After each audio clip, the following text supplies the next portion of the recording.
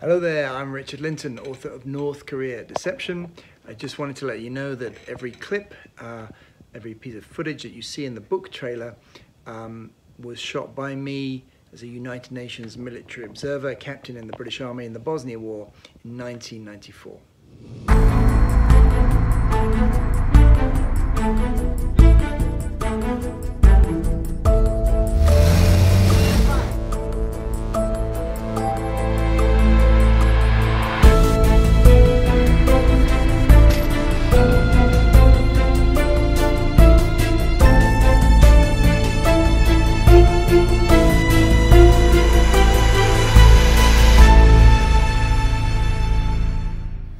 Hello, Kilo X-ray, Kilo X-ray. This is 7 Lima radio check over.